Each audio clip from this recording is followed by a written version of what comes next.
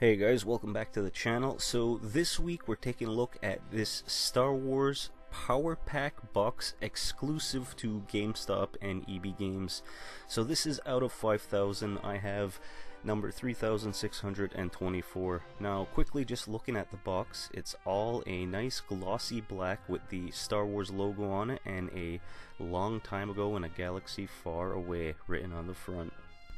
Inside we'll take a look at the three items and again it comes with a very nice box. There's some protective covering on top as well as the certificate of authenticity.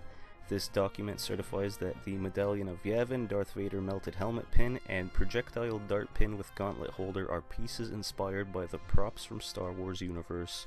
This is an officially licensed Star Wars jewelry collection manufactured by Sales One LLC.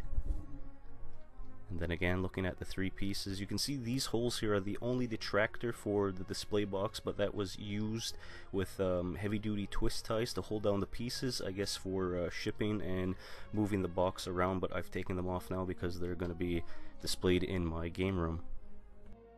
The first piece we'll take a look at is a ceramic magnetic melted Darth Vader helmet. Now this is I guess the one from The Force Awakens when we see Kylo Ren talking to his grandfather Darth Vader. Now the replica or the heavy duty magneted uh, ceramic face is very cool. Like I said, it's going to stay in the, the display box for me, but you could put it on the fridge or something else that it would stay magnetized to.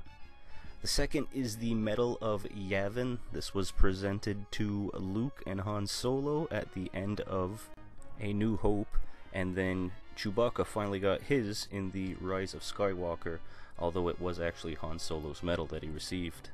The medal itself has good weight to it, and then the material used to drape around your neck when being presented.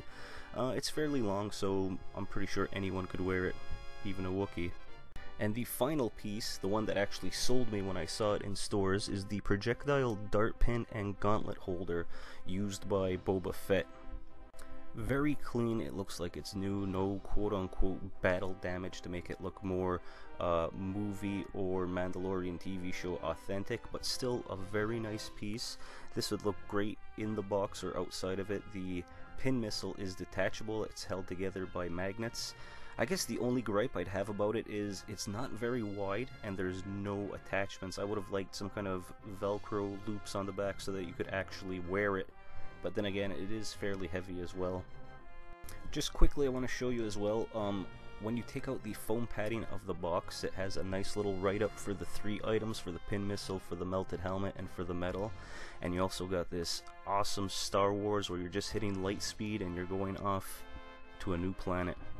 And that's going to do it for this collector's edition Star Wars box, guys. I hope you enjoyed it. If you did, throw me a like. And if you're new to the channel, you know, maybe consider subscribing. I do a lot of video game stuff and toy-related things like this. Until next time, guys, take care and may the Force be with you.